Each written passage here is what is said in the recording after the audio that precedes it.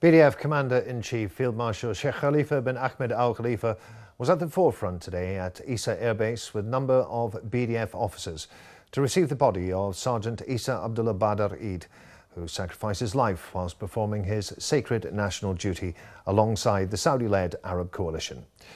Military protocol was observed, then Field Marshal Sheikh Khalifa and senior officers saluted the brave soldier who sacrificed his life.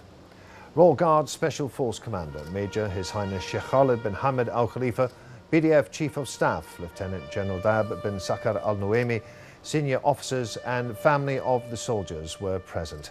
The BDF Commander-in-Chief conveyed condolences of His Majesty King Hamad bin Isa Al Khalifa to the family of the soldier, praying to Allah Almighty to rest his soul in eternal peace. The BDF Commander-in-Chief expressed appreciation to BDF officers and their faithful national efforts, high spirits and courage in carrying out their national duty.